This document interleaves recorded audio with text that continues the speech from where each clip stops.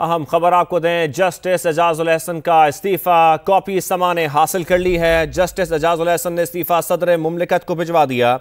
उन्होंने लिखा कि मेरा एजाज़ है। साथ में उन्होंने ये भी कहा कि सुप्रीम कोर्ट का जज, लाहौर हाई कोर्ट का चीफ जस्टिस रहना मेरे लिए एजाज़ है। इस्तीफ़े का ये मतन है। इसी पर मजीद बात करेंगे। सुहेल रशीद हमारे साथ मौजूद हैं। सुहेल, बताइएगा इसमें क्या कुछ लिखा है?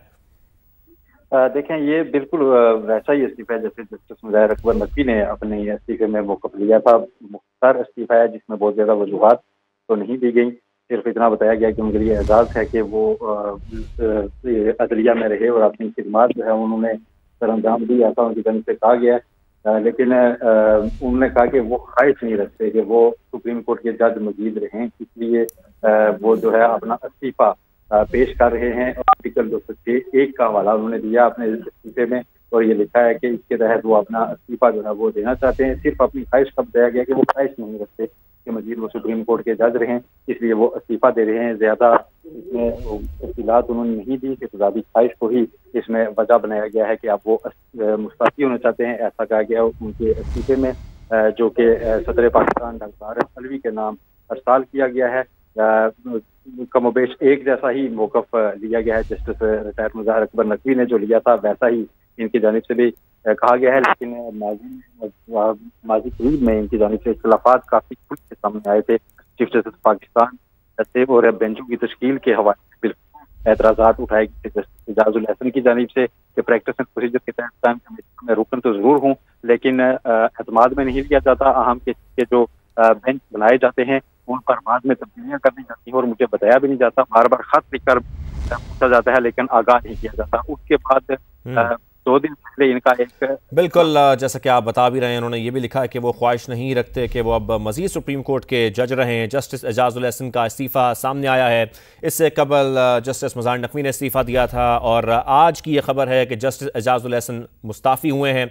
उसकी कॉपी ने हासिल कर ली है। जस्टिस एजाजुल ने इस्तीफ़ा सदर मुमलिकत को भिजवाया है और इस्तीफ़े का मतन ये है कि सुप्रीम कोर्ट का जज और लाहौर हाई कोर्ट का चीफ जस्टिस रहना मेरे लिए एजाज़ है।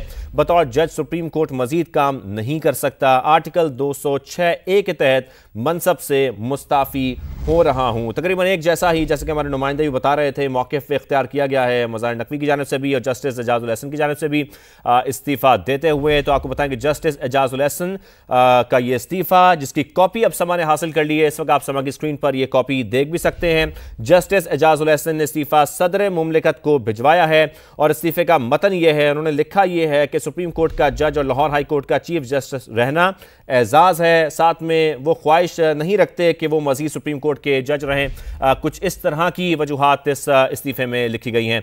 साथ में आपको बताएँ कि जस्टिस एजाजुल हसन कहते हैं कि बतौर जज सुप्रीम कोर्ट मजीद काम नहीं करना चाहता। Deputy bureau chief Behzad Salimi साहब हमारे साथ मौजूद हैं। बहजाज सलीमी साहब आपके पास क्या इन्फॉर्मेशन है इस हवाले से? जी सुप्रीम कोर्ट के जस्टिस एजाजुल एहसन जिन्होंने सदर ममकत को अपना इस्तीफा पेश किया है उस इस्तीफा की कापी समा ने हासिल कर ली है जिस इस्तीफा के में जस्टिस एजाजुल एहसन ने कहा है कि मेरा एजाज है कि मैं सुप्रीम कोर्ट का जज और लाहौर हाई कोर्ट का चीफ जस्टिस रहा और बतौर जज सुप्रीम कोर्ट में मजीद काम नहीं करना चाहता और आइन के आर्टिकल दो सौ छः वन के तहत मैं अपने मनसब से मुस्तफ़ी हो रहा हूँ। जस्टिस एजाजुल एहसन का इस्तीफा जो है वो वान सदर को जराये के मुताबिक मौसू हो गया है और अब सदर ममकत जो है वो इस इस्तीफा को के हवाले से जो फैसला करेंगे।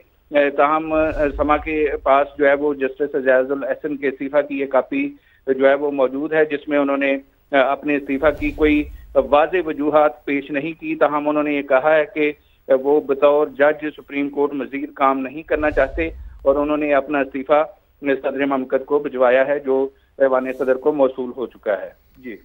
ठीक है, जैसा कि आप बता रहे हैं, जस्टिस एजाजुल हसन का इस्तीफ़ा, कॉपी इसकी सामान्य हासिल कर लिया। जस्टिस एजाजुल हसन ने इस्तीफ़ा सदर मुमलिकत को भिजवा दिया है। बेजाज सलीमी साहब इस हवाले से हमें बता रहे हैं, बेजाज सलीम साहब, अगर वजूहत को देखें तो कोई ख़ास वजह उन्होंने इसमें नहीं लिखी है, सिर्फ़ इतना ही कहा है कि मैं ख्वाहिश नहीं रखता कि सुप्रीम कोर्ट का मैं जज रहूँ।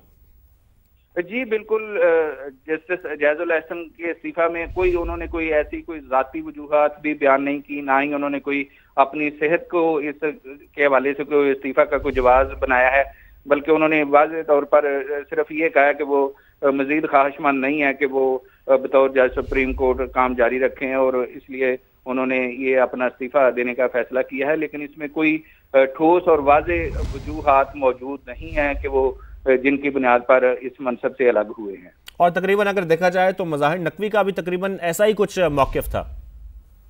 जी बिल्कुल ऐसा ही है।